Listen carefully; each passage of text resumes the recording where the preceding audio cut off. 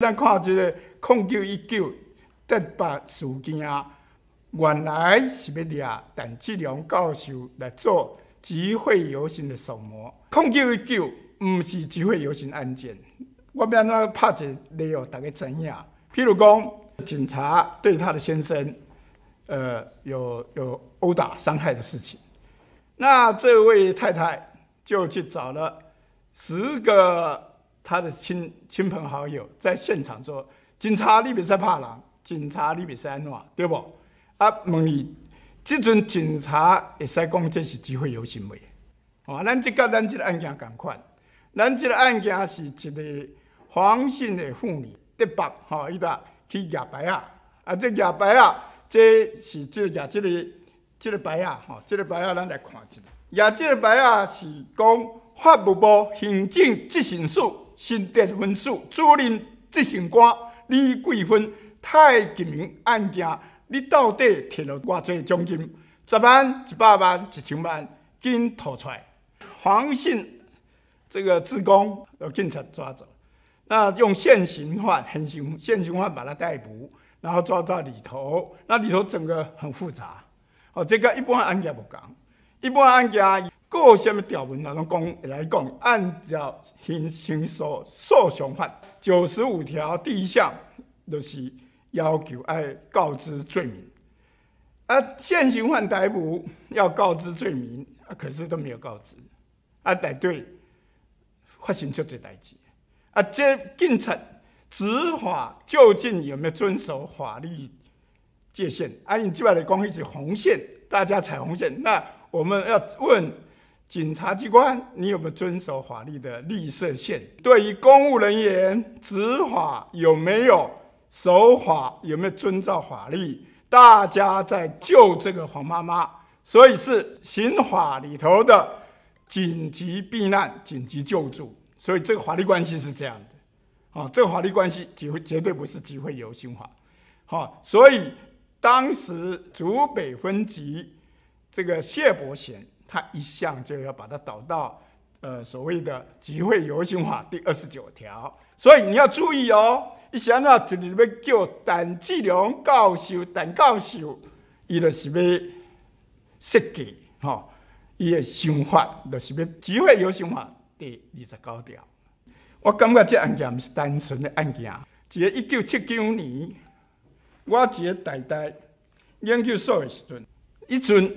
就是要掠米的多啊，但是伊拢有设计好啊。台大呃法律研究所，一阵就足侪调查局的人你来啊，免我掠啊，下面有计划。我明明是从台北到新店，高高端一个人去，对不？讲我率众一百二十个人，啊要去地检署，哈，啊要要怎么样？所以他到地检署的时候就已经要抓人，所以。咱知影即个案件呢，实在爱好好来探讨，因为这吼，这个牵涉，即个控九一九的事件，绝对毋是法律事件，一定变作政治问题、政治事件。所以，咱来看，甲一九七九年十二月初十美丽岛事件同款的代志。啊，咱即个控九一九的案件是安怎？小可代志，人权事件。变成政治事件，政治事件变成法律事件，法律事件又要把集会游行法二十九条拉来，然后要把陈志龙呢教授当手模，然后用这些东西啊，因为我们讲什么都有有证据的哈，因为在他们的文书里头，呃，一个叫做蔡定宏嘛哈副所长，在他的。里头的一些群主的赖里头，都有公布整个问题啊，整个的他们的想法啊，所以我们知道这个案件啊，跟米德都事件有足相像的。啊，甲一九九六年太极门案件，啊嘛是共款，显然啊嘛是设计好的，啊嘛是安排好的，所以咱来知影一个代志，控九一九，咱来怎样样？这个案件是安怎出案的？有因有领奖金嘛，对不？啊，领奖金无人知影，啊，搁提早拍卖，提早拍卖会使拍卖钱较悬啦，对无？啊，这嘛违法的。所以即本违法的代志呢，啊，甲即个物件本来就是按照税关税捐稽征法第三条、税捐稽征法十二条之，这本来就是，诶，嗯，就是一个假案啦。啊，假案就是无不应该摕这钱。啊，这摕这钱，伊也准备延边，当然来找一个方法，找一个切入点，叫大家卖这遐讲，吼啊，因为这马路内底拢有一款车嘛，这实在足见效的，对无？迄车就是讲啊，大家那法税改革啊，伊逐工咧看嘛，会火火大亚心，对无？会袂欢喜，啊，袂欢喜要想想想想什么方法，就是爱一网打尽。啊，一网打尽，一面呢叫大家定定立一个标准，以后一举牌就限制租机，对不？啊，人民的人权、言论自由、宪法言论自由的拢无去啊，这个是不是可受公平？人民能不能质疑这个奖金？呃，到底要不要拿？要不要吐出来？是不是？那你现在人民也不能挤挤了。以后建立这个例子以后，所有人都不能举牌，哦，这是一地点。然后他先把陈志龙教授呢用集会游行法二十九了解，啊，其他教授拢了解，啊，伊也就出问题对不？啊，无要紧，因为伊后壁扩双啊，竹北呃六家派出所李桂芬呢就呃就已经做一个告诉哈，说人家呃人家呃妨妨碍他名义啊，但是到零九一九原本呢这个呃有个女警。就是找这个呃黄姓妇女，啊，啊，本来这也本来就无代志，啊，别啊，个离开的时，别啊，咱注意后边有卡电话，哦，啊，卡电话以后，过转来过来掠掉，啊，这卡电话是靠下人，向来指导这个案件，啊，现在这个案件那变做安尼，那变做较复杂，那变做伊本来要讲告知的罪名，啊，刑事诉讼法告十五条，啊，告知罪名一直都没有告知，啊，那罪名一直在改。啊，罪名突然变成刑法呢三百零五条，啊，恐吓危害安全，啊，又违反各自，啊，这个东西恐吓危害安全，嘿，一定是具体危险犯，一定要一定的属实，使讲我对你危险。啊，恐吓危害安全，譬如讲，我送一个子弹给你，也是我来讲话来恐吓，对吧？我要对人话，被告甲被害人之间根本无熟悉啊。他也无无无任何的物件，啊，这呃具体危险犯根本不会成立啊，所以这里头我们就知道整个问题无遐单纯，所以那么探讨探讨这个问题，所以呃拦截控制一半，我就发现有这个问题的，大部分警察都好，但是有时有人叫用陷阱陷害，就说用这种策略，哦啊，另外伊个公平才会，就你要来拗。啊，物件你要小心。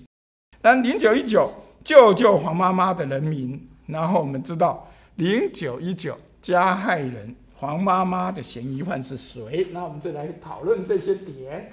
那分作两部分来开始，开始第一，李明在人民的部分呢，就是爱心的黄妈妈。黄妈妈呢，她是一个爱心的职工啊，里头这几个牌，那真的很好。大家都有正面的评价啊啊！爱心的法税改革之功，呃，大法官解释呢，呃，譬如公四至七一九号不能用集会游行法来限制人民的自由，因为集会游行法还是有一定的条件。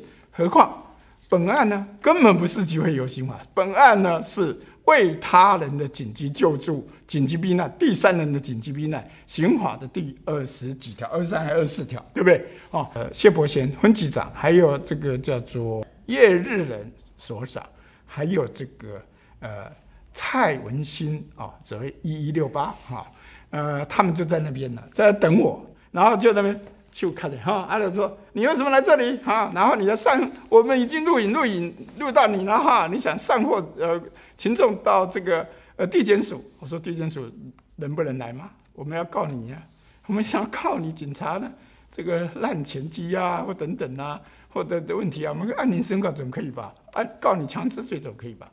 那他他他就要抓人哦，说哎人在那边要抓要围起来，好你把你就可以从整个录影带就知道，原本他们是有计划，所以这个计划呢，是，呃，谢伯贤你自己想的，还是上面有长官教你的？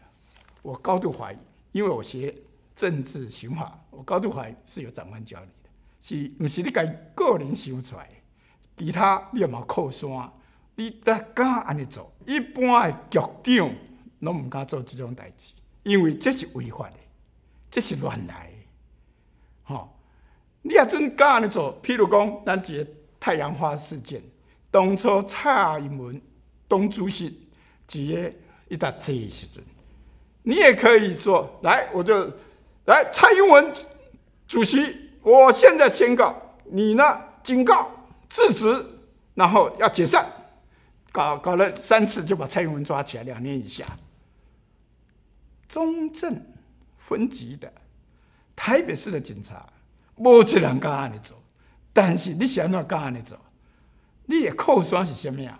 咱小人看影片就知影，你原来是无简单的人物，你是咱凭警警政署啊，有细力的人，因为你敢做这，因为你后边靠山是检察官，是执行署，还是行政院长，还是总统，还是警政署长？嘿，你也该你该交代。吴景清教授啊，伊讲伊要压这牌吼，啊，看敢来了无？我来讲。吴景清如果到新竹碰到竹北，他就会抓你，啊，因为竹北分级，他们是一国两制，也后边扣刷较快，吼，那么咱也扣刷一下啦。所以咱怎样这里，呃，执行署陈英锦大逮捕，哈，然后里头他就有讲的很多东西，对不？一共太极门是玩过头，对不？玩过头，陈抗叫做玩过头，蒋介石嘛是讲美丽岛玩过头，哎，那拢讲人玩过头。究竟谁在玩法？有依据宪法，人民那么弱，怎么可能玩过头？你那么强，你怎么可以唾弃人民啊？你看最后呢，要唾弃人民，对不？我的公安呢？哈，这、这、这个新闻稿出来哈，我感觉这个跟那有蒋经国时代开始。好，咱就来放一领带，大家看。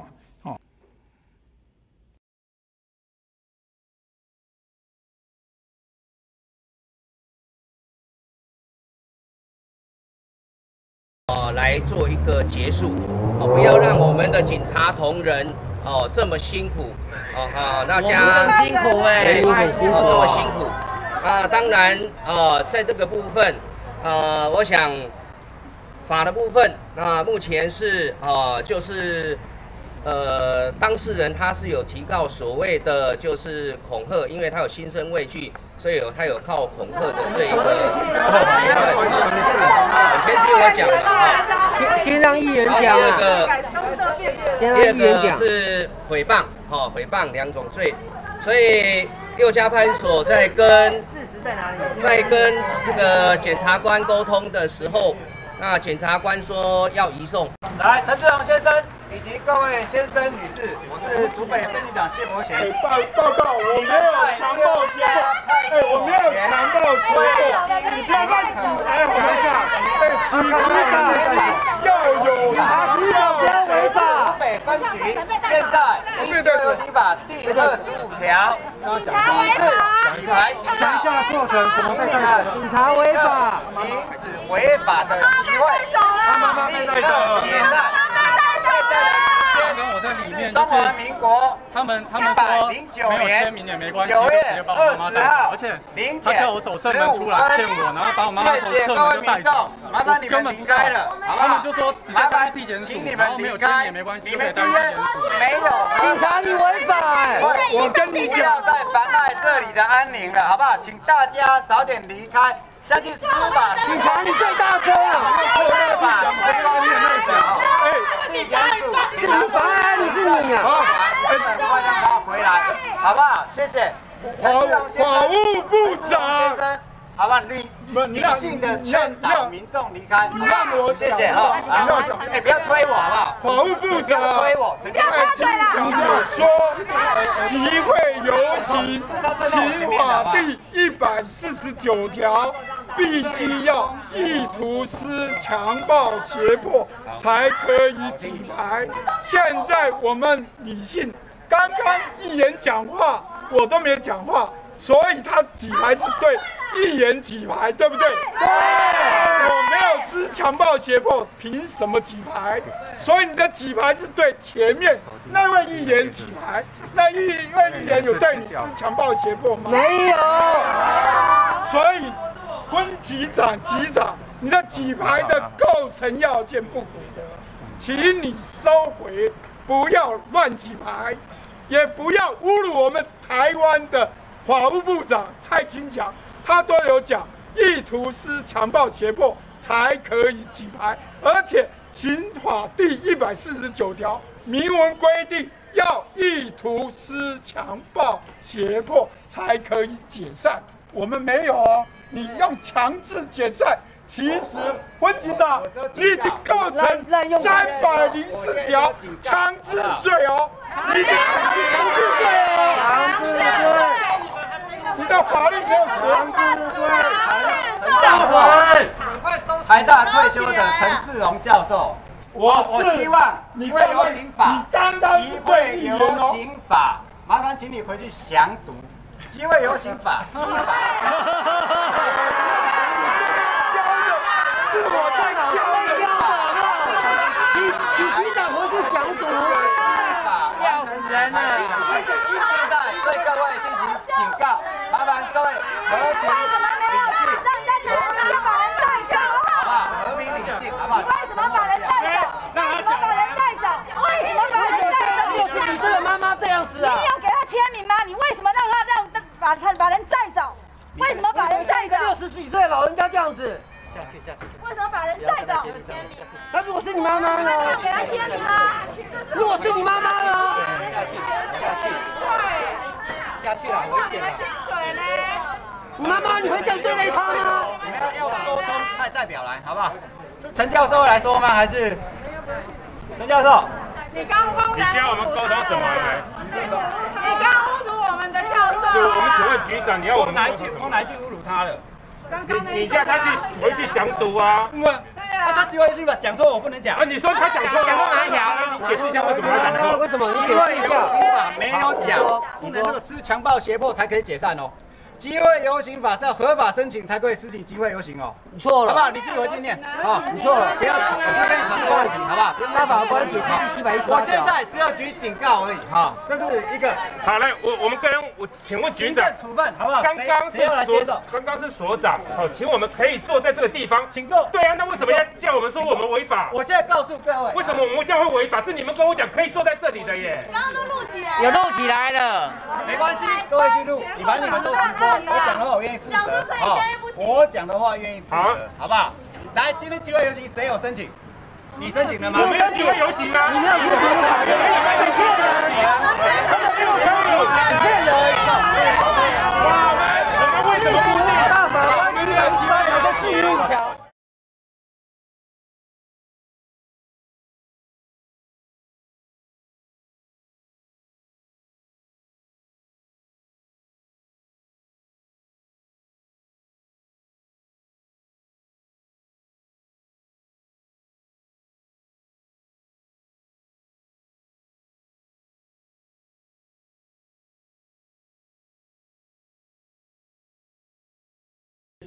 大家注意到，他在刚刚有讲，呃，其实我们的呃职工啊都非常的很优秀哦，他们都引用大法官解释呢七八号哦，那这个问题就是集会游行有些是紧急的，根本就不要申请哦，然后何况这个案件根本不是集会游行，所以他把不是集会游行呢当做这个东西，然后后来。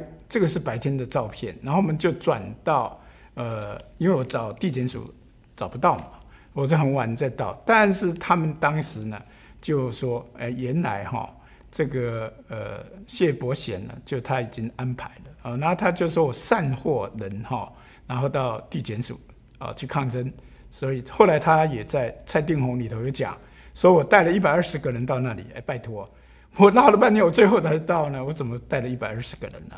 所以，呃，这个新竹竹北哈，他们常常做不实的登载、不实的事项、不实的报道，然后说我带人去，然后说我散货人家，然后我我要喜欢检察官讲话都不能讲，哦，然后他在里头集结，然后人本本来是怕圣节新的一个地检署门口形成对峙，然后就举三次牌，把所有人都抓走。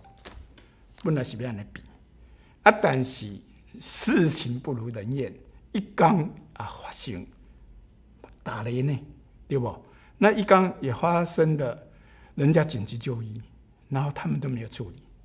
这个东西，我想他的集会游行法是谁教他的？是上面有高层教他的，是不是？所以如果有高层教他的，我觉得零九一九竹北事件是一个政治事件，要进行政治大整肃，把不是集会游行的硬凹成集会游行，然后也要把前面去。讨论法律问题要来实行紧急救助的陈志龙教授，也要当做什么要抓起来。所以这个居心叵测，这个东西又让我回忆到，呃，一九七九年我在台大研究所的时段，他们怎么策略的。所以我知道之之前一定有沙盘推演，那沙盘推演参与的人是谁？这就不简单。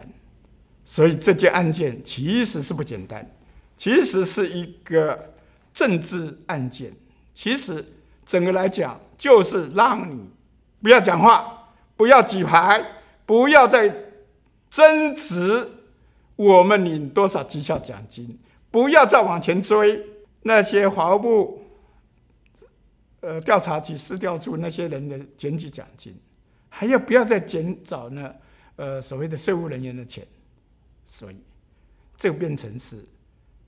很有问题的，台湾的重大人情事件、重大政治事件，所以我们来再看一下。你再看这个图里头就很奇怪，原本呢，它应该是在呃那个呃那个在地检署嘛，对不对？他为什么要把所有人呢带到左边那个草草丛那个人行道上面啊？为什么要往这边带？那往这边带呢？他为什么一开口就？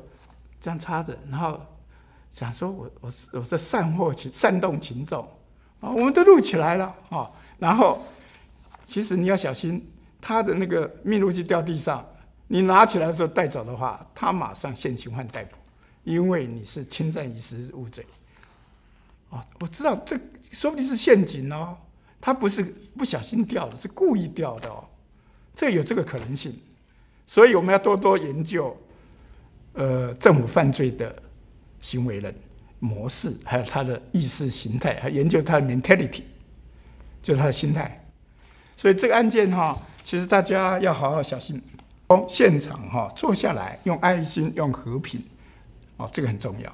还有，呃，社会里头应该要互助、互相救助，为他人的紧急避难，才是正常的法律社会啊。如果只是冷漠，只是塑胶，或站在助阵呢？的加害人啊，这个就不行了，对不对？哈，那人民的呃宪法权利、自由、身体健康的保护呢，这才是重要的，对不对？好，但是我们看一下主北的人员有没有用人民的法益当做第一优先呢？然后你讲，呃，集会游行法，你有没有注意集会？当然不是集会游行法，但是即使万一退一万步说集会游行法，但是你是不是看我这里哈？啊，你是不是集会游行法？呃，这里第二十六条，对不对？你是不是集会游行法第二十六条呢？呃，所有考虑到人民的华裔、人民的言论自由，你有均衡的，有这个所谓的均衡维护，有没有？集会游行法你要举牌，要警告，要制止，多一定要有均衡维护，所以你不能乱举牌，你也不能服在里头，你要举牌就举牌。但是在这里，我人民在按铃申告，然后在听黄姓妈妈在讲她在里头的事情，哦，那她竟然会几排，人家黄姓妈妈出来讲在发生什么事情，那是要记者招待会啊，对不对？那你你让一个被抓的人然后出来举行说说明会，你就。哦，现在你又违反机会，有请我后面的群众，哇哇哇哇！啊，你敢丢？你敢有注重机会为优刑法第二十六条，所以你执法有公正吗？哎，谢谢谢伯贤帅哥，你执法有公正吗？好，那我们看一下几个重点呢？他们在里头就发生了，在这个案件里头有四个、五个重点。第一个不认错，第二个不感谢，血口喷人；第三个说谎，第四个说情义，其实是有策略的、有计谋的；第五个仗势霸凌人前，动不动就霸凌人前。所以这个问题我们就要讨论，对不对？在这里头，如果你是执法，我还可以跟你讨论；但是假如你不是执法，你是一个政治计划的整数案件，我没办法跟你讨论，因为你有长官，你有上级的意志，所以你会把人从新竹执行署带来这边，所以你这边就是类似要做美丽岛事件，要做一九九六的政治整数事件，如出一辙，所以。你为了什么样的动机我不知道，但是你的行为告诉我，你就是要怀查你压力找，要被捕你恶报，要人啊民营病的，要达达个变有惨，要乱创，所以这是白色恐怖的。里民有免于恐惧的自由，但是一九一九事件，竹北事件。是一个恐惧事件、恐怖事件。好，我们再看一段影片。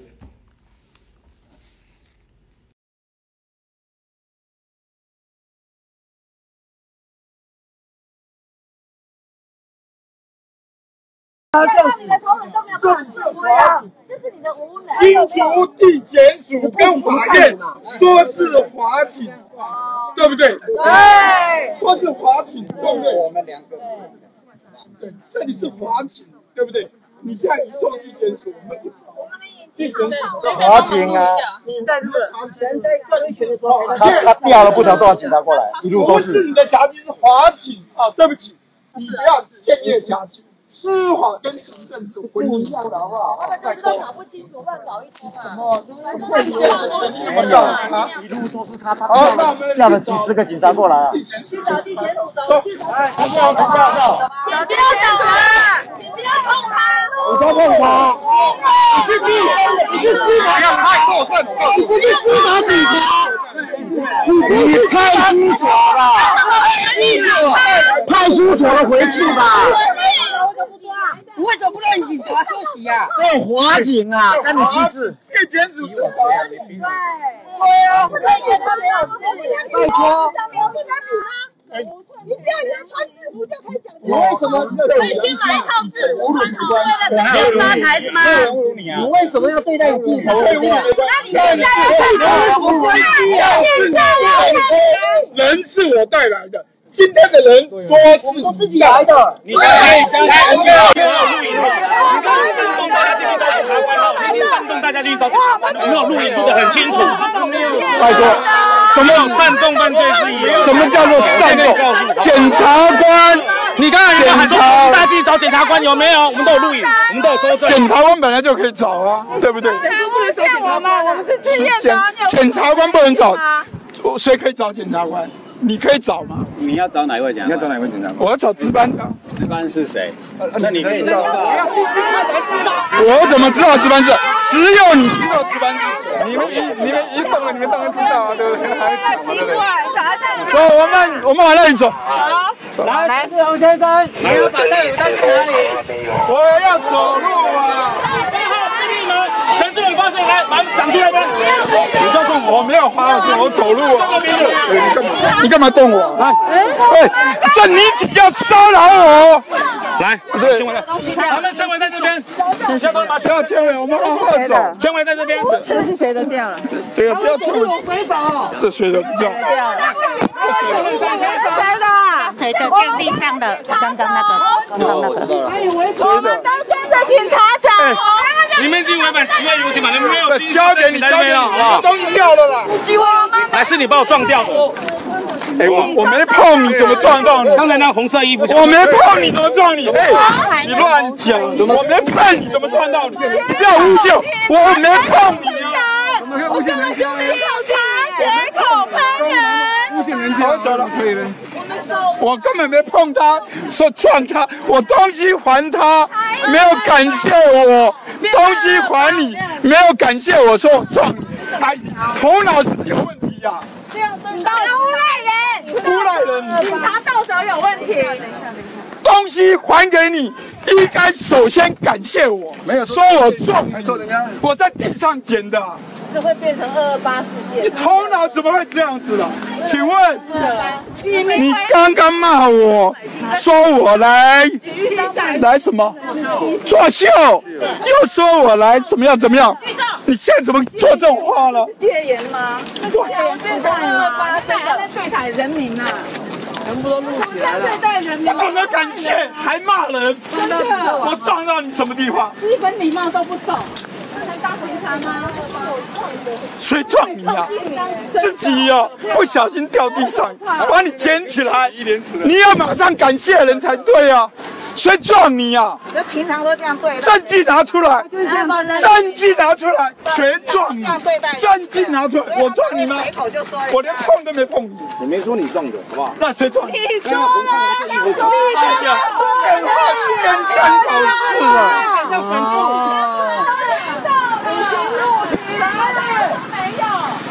我真笑死，好可怕！这是保护人民、保姆这样对待的，这是霸凌啊！为什么不能霸凌退后好不好？为什么我们不能走在这里？对啊，我们有没有什么？我们有没有这种？行动自由哎？为什么是行动自由哎？自由钱跑到哪里去？了？我不能，我们的意志有把我们带到这里来的啦。这是其意识的自由啦。自家是最不放无私的，应该算的。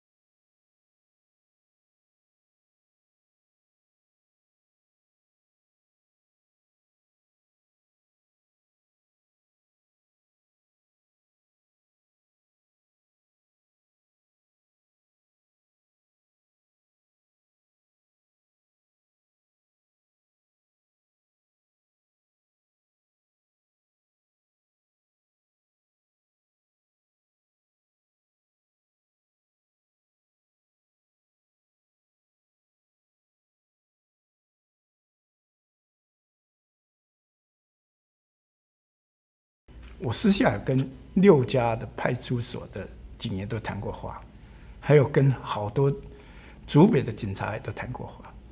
集会刑法二十九条，手模要处两年以下有期徒刑。那你乱抓起来，你以为地检署都你家的？然后你以为全国法律的人都没有眼睛？你以为苏贞昌也会站在你这边？你以为陈家驹也会站在你这边？但是有证据的时候，我告诉你，任何人都站在真理这一边，任何人也怕你，因为如果你这么狂妄，即使我是蔡英文，我哪一天不知道你会反过头来搞搞成另外一个美丽岛，大家都会怕，都只人我的家里，因为你架杠，敢无法无天，敢安尼随便胡白讲。啊，你会使乱来几排，啊，你敢对？咱大家来评评理，对不？好，咱来讲看另外一个影段。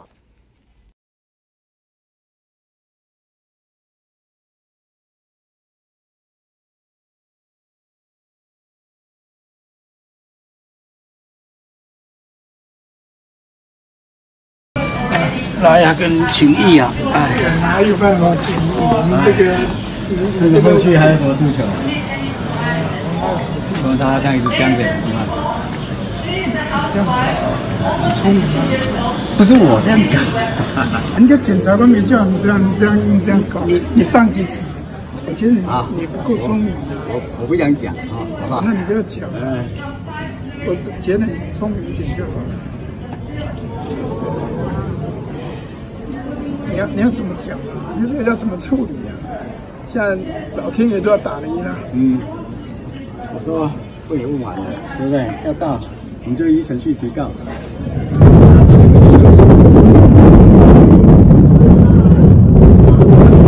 说这样的意思，所长，没有啊，所长那什么意思？我是机关所长，我来跟你对谈。跟你没关啊，跟你是一点关联都没有。你那个一码归一码，对，是不是？你个人部分要提高，对不对？尊重你的权益啊！我现在是指责全面的。这个我这种没办法，这个不人不是我带的，人不是我带，人是你带来的，人这都我带的，哎呀，人不是我带来的。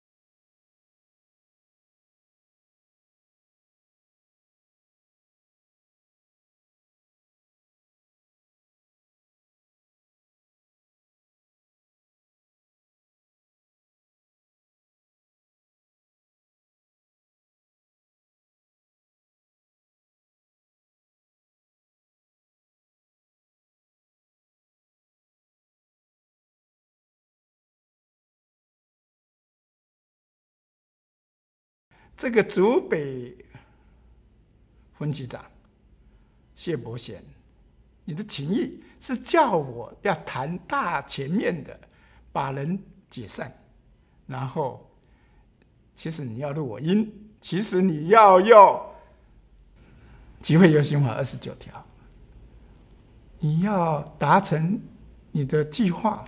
苏苏院长、苏贞昌院长、蔡金祥这部长。很多人其实大家都是非常好，蔡英文总统也非常好。但是如果属下有一个这种竹北谢伯贤分局长，还有叶日仁所长，还有那位一一六八这种警察，如果再让他们这样子能够违法滥用集会游行法二十九条乱整一套。那我们台湾的法治怎么办呢？原本是一个紧急救助，本来就可以讨论，检察官也可以讨论，然后我们也可以去按铃，也可以跟呃值值值班检察官说这个样不对的。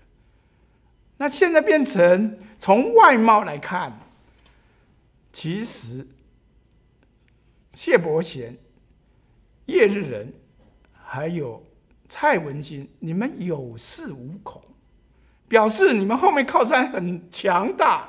所以，绝对这个不是警察集会游行事件，也不是法律事件，是政治事件。所以是类似美丽岛事件。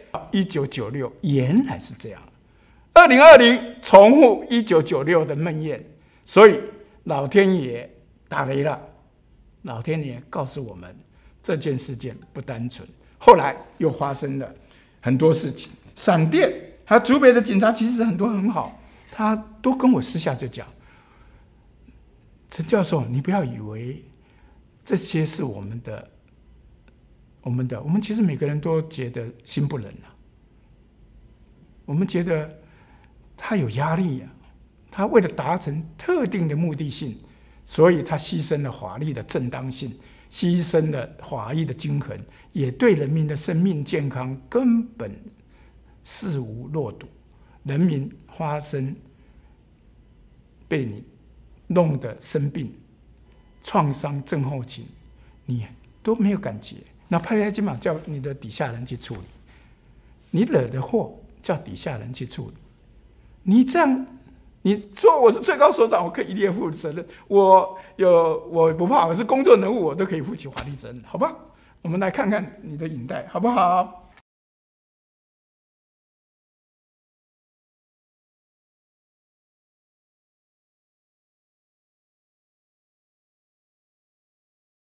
刚刚讲第一次举牌，请讲一下的过程，请你们立刻停止违法的集会。我们现在的问题已经跟呃主委的跟这个这个做好了，对不对？他其实就可以跟他睡觉，他不应该来这边干扰我，对不对？今天是按你这个，今天是按你这个，根本好不能阻止我，你不能阻止我。做按铃申告，对不对？对。司法犯法。其他人记下。下去，哎，要盘子我就拿起来，还是这样子而已。刑事案件，我们在诉说被控诉的刑事案件，对不对？你不要在那边乱扯了。人民在这里召开记者会，并且澄清事实，没有在集会游行。我们不知道警察为什么还要再继续的违法举牌。看一下一六八是不是应该让他出来面对民众？他朋友一定是什么？你一定要接受媒体采访，为什么他在山下？赶快叫救护车！救！好，我们我们现在，我们现在人的健康最重要。温局长，你有没有关心人的健康？你有没有叫一九？有没有？对，我们注意人的健康，我去关心他。所以我们下指对了，刷刷了全国的不要那个拿做给不要对，你们要在辞职的，不要是你们对我们这样子的制度，对我们这样王什么事？我来，你们都在录影，来，我马上派我们同仁送他去，好不好？你鬼刚马上录影，太恐怖了，你们不能这样子送，很恐怖吧？你们你们一九打了没？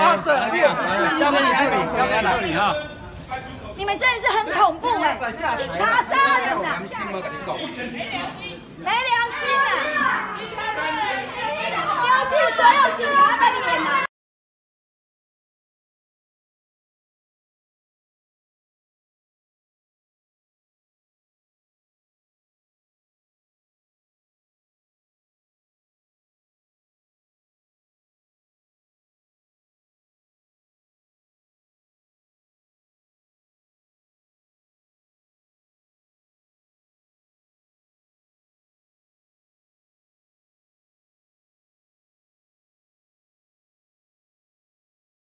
整个影带里头，他手上都拿着喇叭，他就想要举牌。那他的针对对象呢，其实就陈志龙。他想要用集会游行法，那这样他就可以立大功了。那他就可以解决他背后那些人的困扰。背后那些人呢，他有可能就牵涉到拿奖金，然后有时候用假案，就是造假、霸凌、贪污，那这些人。全部都被他拯救了，所以，可是天不从人愿呢，里头出了很多很多的状况，对不对？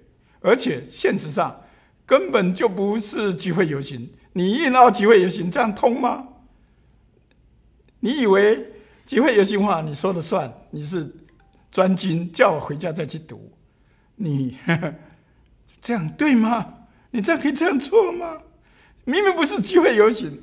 你只要看人性尊严跟刑法体系入门，这是我写的书，啊，拉近一点，对不对哈？好，OK，close，对不对？好，这是很重要的一本书。做我们的法律，一定要把人当人看，人的身体、人的健生命，这很重要，重于财产，不要倒过来。啊，然后你看第一百九十三页。主窃违法紧急避难，有避难的情形，然后要去救助他，然后重大利益的维护，因为人的生命自由健康总是比你那些财产法律重要吧？然后你不按照法律违法的行为，任何人都可以紧急救避难。所以这件案件呢，竹北事件其实就是警察。违法执行勤务、滥行羁押，然后也不宣告罪名，然后滥权逮捕，也违反提审法的等等规定，然后又滥权等等，所以一般人知道以后就讲说，警察你一定要依法，不能这样滥权。就像警察把人围起来，大家去围紧急，这个就是紧急救助，这个你不能再用集会游行。那我举个例子，有一些警察呢。把人家的老公呢抓来打，然后他老婆知道，赶快去呼叫他老婆的呃姐妹淘，就来了四个姐妹淘，那讲说，哎，你不要打我老公，再打会打死了。那这警察呢就说，你们有没有申请集会游行？没有去申请呢，这就是非法集会游行。我现在宣布解散。警告、制止、解散。到底这里就处于法律的权衡原则，还有所谓的均衡法律，还有我们的法治文化，是不是可以让你胡乱解释这个是集会游行？所以这一点，请大家好好想。第二个点，我们来知道，其实在这件案件里头，让我们学到很多法律的问题。因为为什么要把这件事情用大炮打小鸟？可怜的黄姓妈妈用原子弹打算要打陈志龙，为什么？大家慢慢就了解背后当然有动机呀。因为这个东西如果一定了，大家就呃所谓的呃限制住路上就没有人权了，就不能讲话了，对不对？然后。路上也没有人再可以挤开这种车啦，对不对？开这种车，因为这种车的人，他就路上就要讲，大家认识他了，所以这有动机，对不对？那路上也没有人再来争执，你这个呃拍卖要分二分之一，然后为什么要赶第二拍？因为第二拍价格比较高嘛，八千八百块嘛。如果到第三拍在。国税单位承受在六千六百块，那就是钱领的少嘛，比例就少嘛。然后为什么又要再跟四零分二分之一？因为呢，这个案件呢有这个营业税嘛，在市里嘛，然后你怕钱分不到嘛，所以一一切一切都是为了 money money I love you money，对不对？难道你是为了我们的我们的法治文化吗？难道你是为了我们的？公正廉洁的这个正当法律秩序吗？Due process or law 吗？当然不是。所以呢，这个东西就是为了钱，讲穿了就是为了钱。所以，如果这样一抓以后，这些都不会再被探讨。你的计划书，然后还可以，一九九六年的法务部台北市调处调查局台北市调处，照样就还可以再领钱。所以这样一搞了以后，当然好处很多啊，对不对？所以，我们不觉得谢伯贤，谢伯贤你可以分到这些利益，但是你是帮别人做假。所以，当谢伯贤你知道这件事情的时候，你就觉得零九一九事件你是不够聪明的。所以，你的祖北的警员，好多警员都在跟我讲。你阮迄个主备警察啊，无遐巧，都是想有义气、义气帮别人，可是帮错了。你一定要在法的方面，你不能踩红线呐，你不能乱画红线。所以，行政机关之意侵害人权，然后现在零九一九、零九二零要发动另外一波的政治整肃，它的对象是要把。我呢，当做集邮法的第二十九条的什么？所以这个问题就知道。所以我们也要知道，陈吉监察院长以前也我有看过他的档案，哦，里头有一些美丽岛档案。我在呃白色恐怖基金会我看过他的档案，我也知道他里头有些很多档案。哦其实都是被政治整肃。其实政治整肃很恐怖哎，你不要以为二零二零年没有政治整肃哦。他如果照样讲，照样干了，对不对？所以我们后面所谓的功绩背后有后台，再有后台，再有后台，就是间接正犯好几层。那在零九一九这个政治案件里头，他的间接正犯。后面的人是谁呢？谁最有权力呢？那我们知道，整个有所谓的下手跟被害人，所以记记记，最后元凶是谁？我不觉得零九一九这个案件是一个单纯警察事件，单纯主北警察事件。其实他怎么会用？集会游行法第二十九条呢？然后怎么硬要讲陈志龙呢？然后要讲陈志龙是，我明明是去讲，我去紧急救助啊，我根本只是一个人啊，我怎么率众呢？我里头，我其实我是最弱的人啊，我率众，我哪有重？我又不是像你警察有一堆重，对不对？我没有重啊，我没有队伍啊，所以你要讲那些话，我都清楚。啊，好在我没有上你的当。其实很多人帮忙我啊，所以我们知道这个案件呢，就假案整数，其实零九一九第二波的假案整数，所以我们知道这个案件真的是大家要好好讨论，到底它是政治问题呢，还是法律问题？那为什么为什么这么复杂呢？所以我们来看一下整个问题有什么特殊性，跟以前不一样呢？然后呃。警察用所谓的乱枪打鸟、钓鱼式侦说、计划性滥权、人质强势执法，这都会侵害到无辜人民的权益。所以这里头没有证物、没有证据，然后你就可以呃自以为之，然后里头弄出的法律见解，呵 其实真的所有的法律教授、法律人、律师都觉得怪怪的，都觉得不对。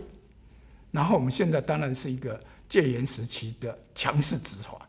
跟我们法治国家的依法行政，所以我们知道无罪推定原则是一个不能够错呃错杀无辜，所以是不是有背后人在指导这个这案件？是不是他指导者是谁？那他到底有几层的指导？所以这个问题呢都要好好讨论。所以我们把我们的这个 PowerPoint 的秀给大家看一下啊。好，那我们知道，呃，在在公开的群组里头。我们就知道，呃，希特勒犹太人的警语，对不对？在波兰，呃，雷西法雷萨的的团结功能呢，就大家一定一个人受害，我们其他人都要出来站起来，要更多人站起来，才不是才可以拒绝国家的霸凌啊。所以这个蛮重要啊。所以我们感谢的我们的助理啊，他帮我们忙，他做了很多东西啊，然后也帮我们呃做一些。呃，引带哈，然后这些，所以我们非常感谢很多人，对哈。然后，呃，警察呢，如果采取这种调查式的东西，其实这都是很有问题的，对不对？哦，是目的不能够，呃，国家一定要保护大家，司法一定要节制，然后我们不能够呃用呃主观，然后呃为了特定的目的。然后违反法律，然后来办人，对不对？所以黄妈妈事件呢，它是一个政治问题，还是一个法律问题？主北呢，处理黄妈妈呢，有没有跟以前不一样？他是不是用告诉呢，告发正常程序呢？还是呢，他是用一个不是比较不正常的程序？所以呢，我们在竹北这个里头的这个呃问题呢，呃，为什么要？抓黄妈妈，然后里头呢有没有告知九十五条？也没有。然后为什么中间有打电话？那最后呢，到底是谁在指导他？这些问题呢，就一而再让我们觉得很好奇，要了解。然后这个九十五条有没有尽告知义务吗？有没有呃犯罪罪名要告知你呢？有没有保持缄默呢？有没有行政辩护人？有没有请求有利自己的证据呢？等等的这些东西都是这个呃蔡文新说要讲究都没有讲啊。然后我们知道，哎，这个就是。呃，我们这个前面呢，就是呃，这位就是啊谢伯贤，这位在笑的就是蔡文新的啊，然后他们觉得自信满满，所以他们执法呢，呃，真的他们认为非常满意哦，然后也也也写了这些呃这些功劳的东西，然后也往上报，就但是他有点功劳不对，那天的解散呢，不是他们沟通完的解散，不对，那天解散是出什么？出了人民的。伤害倒了倒地紧急送医才解散，结果他在报告里头遮蔽到这一点，所以呢，呃，陈家清署长还有呃苏贞昌院长，你不要被他们的报告，他们报告只报告局部的报喜，没有报真正的问题，所以这问题呢，其实大家要积极追，对不对？哈，啊，他们现在很得意，对不对？啊，然后我们人民就很痛苦，对不对？好，好，那我们知道最最后要注意的哪几个点，对不对？呃，为什么一直要呼叫陈志龙名字？为什么紧急避难呢？又把这个东西？所以你可以看一下这些东西啊，月圆人团圆，然后吃的月饼就变成回回圆圆。对，老师，那我们要不要开箱切一下月饼？难得粉丝这么好，好，好，好，哇，这个是。老师，那你要先切哪一个？我我选一颗好了，好不好？这是台湾最有潜力的人，对不对？超大颗的哦。是挑最有潜力的人切一个。我我选一个看起来最吸引我的。哦，最新的哦。对，这个这个看起来好好吃哦。哇，超大颗的，我们等下大家都有可以吃的。真的。哎，中间有东西耶。中央不是蛋黄吗？蛋黄，然后我这个是那个呃抹茶口味的，可是可是它中间有包东西哦。老师，那我们我们开一下这个是什么东西啊？哎，竟然是一张照片呢。啊，相片就像哇阿芬哦哦。哦，李桂芬，哎，李桂芬最有权力的人，哎，这怎么这样子呢？开箱哦，哦，那真的是最有权力的人呢，跟老师刚刚说的话一样。那是你，你抽的乱抽的，这我因为我这个他最离我最近呢，我最想吃这一颗，所以我就切了。李桂芬最有权力的人，最有影响力的人。哇，粉红色的，我哪个选？结果粉红色又一个。哇，这个变够这水，真的超漂亮的。是个变，我要准备。肚子好饿，好想吃哦。对啊。我今日拢啊未食饭诶，对不？哦，老师也还没有吃饭嘛？啊未食饭，哦，老师真的很。为了为了大家台湾的民主，台湾的自由，对不？老师，这个人跟月饼长好像啊！哇，记得哦，这个叫什么？陈英锦哦，陈英锦，陈英锦有，因为他脸红红的，然后这个月饼也是红红的。最有潜力的人哦，来，我们怕不怕，陈英锦加油！真的是。对，陈英锦，要不然哪一天来上龙哥打？陈英景很应景哦，刚好月饼出现就是你。你是台湾最有潜力的人哦啊！前面那个李桂芬是什么？台湾最最有 powerful 的最 powerful 的人哦，人哈对哈。那再来呢？莲龙叶。莲龙哦，老师今天的这个节目还有人说就是。这个事件是竹北二二八事件呢？干嘛呢？对啊，因为在竹北发生这么恐怖的事情，所以大家就有人就说这是竹北二二八事件。原来连龙月饼是林庆忠啦！啊，连龙哦。哎，那个那个观众是谁留言的？你也可以得到一份。如果跟我们一起享用月饼啦，跟我们一起享。亚东蛮高，我们来看看谁是最厉害的人。家都蛮搞这里下了，就在中秋节晚上开箱。哇哇塞，真的是熊熬的人呐，侯宽人呐，刚好有押韵呢。熊熬的人侯宽人，哇哇塞，他现在是什么职位？真相讲出来，大家了解就不错了。对，所以我们感谢大家，谢谢大家。所以我们知道谁是台湾最有 power 的人，但是我们。还是爱心关心别人，然后有人性尊严。如果别人受到苦难，赶快伸手去救他，不要犹豫。